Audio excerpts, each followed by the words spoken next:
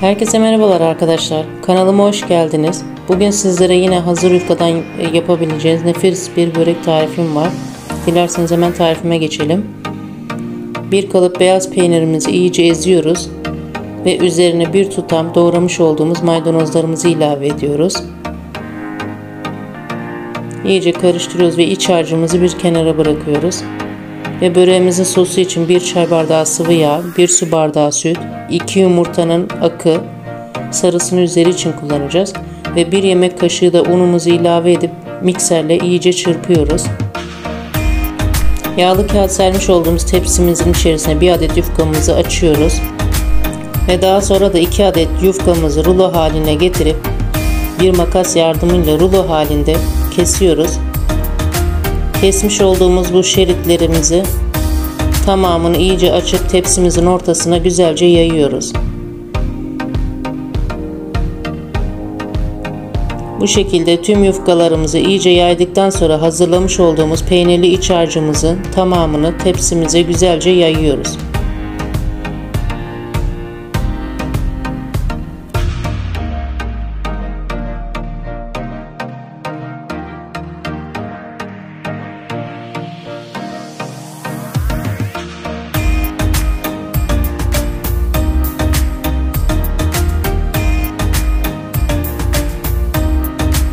Tekrardan peynirli iç harcımızın üzerine bir adet yufkamızı yine şeritler halinde kesip iyice dağıtıyoruz üzerini kaplayacak şekilde. Siz isterseniz yufkalarınızı elinizle yırtarak da yapabilirsiniz. Ben makasla yaptım. Bu şekilde yapınca böreğiniz e, çok fazla ince olmuyor. Hem yufkayı da daha e, kaba kaba kullanmış oluyorsunuz. Böreğiniz ince düşmüyor bu şekilde. Tamamını bu şekilde açıyoruz. Ve üzerine sosumuzu döküyoruz. İyicene her tarafını ıslatıyoruz.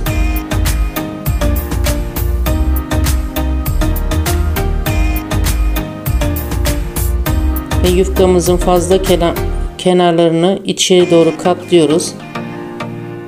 Bir adet yufkamızı tepsimizin üstü için ölçüsünü alıyoruz. Üst kapağı için. Kenarlarını yırtıp alıyoruz. Yırtmış olduğumuz bu kenar yufka parçalarını da yine açıkta kalan böre, böreğimizin ortasına iyice yayıyoruz. Kalan sosumuzu da ilave ediyoruz. Son katını üzerine e, koyacağımız için daha güzel yapışması için sosumuzu mutlaka sürelim.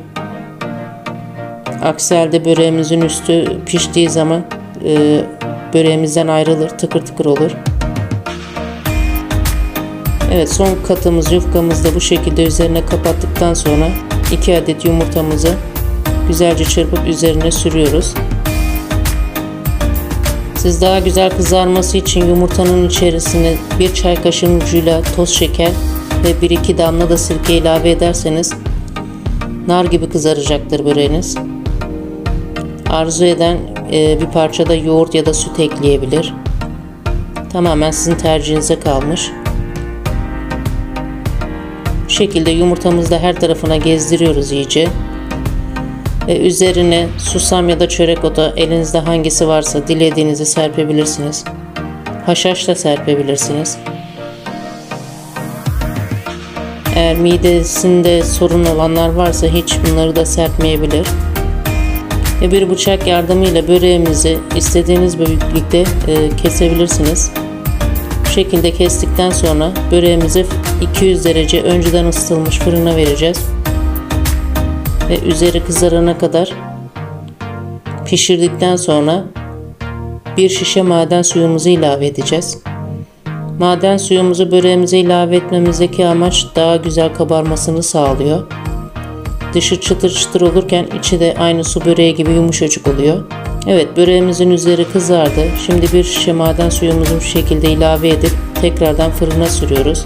Ve 5-10 dakika kadar daha çekmesini bekliyoruz. Gördüğünüz gibi böreğimiz nar gibi kızardı. Umarım videomu beğenmişsinizdir. Videomu beğendiyseniz beğen tuşuna basmayı ve hala kanalıma abone değilseniz abone olmayı unutmayınız. Bir başka videolarda görüşmek üzere. Hoşçakalın, sevgiyle kalın.